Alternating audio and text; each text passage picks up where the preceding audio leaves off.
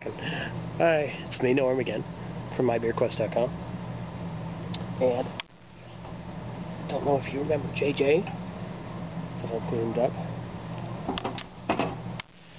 Today we have uh, a Bock beer, because I kind of like Bock beers on days like this. JJ does. Um, it's from uh, Shiner Bock, from Shiner, Texas. So, it's a twist off, which I was able to open this one up fairly easily without ripping up my hand too bad.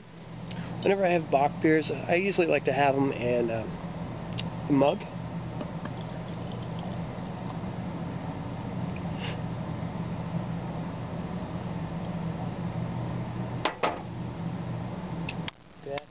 Really nice color this one has. I don't know if you remember, a while back, I uh, they, they, also have Shiner Black, which is like a dark beer. Uh, I really enjoyed that one. Kind of had an ashy taste. Never had the Bock, so can't wait to try it.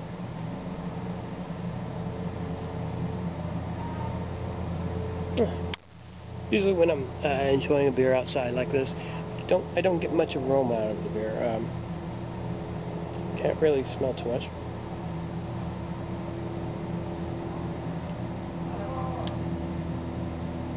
Yeah, it's, it's a nice. Um, a box style is like a German style. Uh, usually comes out right before spring, sort of uh, in between winter and spring, sort of beer.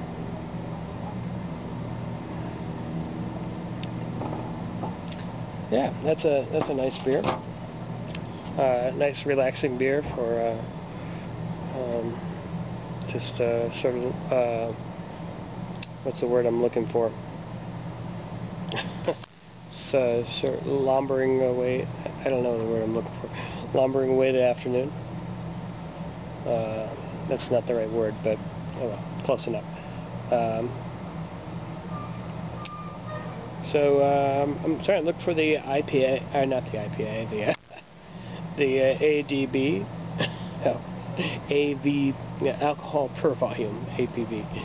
I don't see it. I'm, a, I'm assuming this is probably around 5-ish, you know, either right below or right above or right at.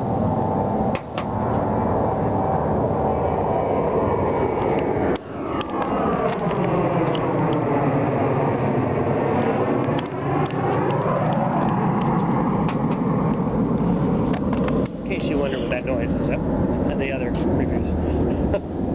well, this is a very nice beer.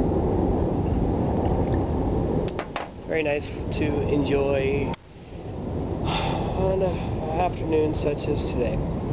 So, until next time, thanks for stopping by. Cheers. Enjoy your beer. Enjoy your afternoons.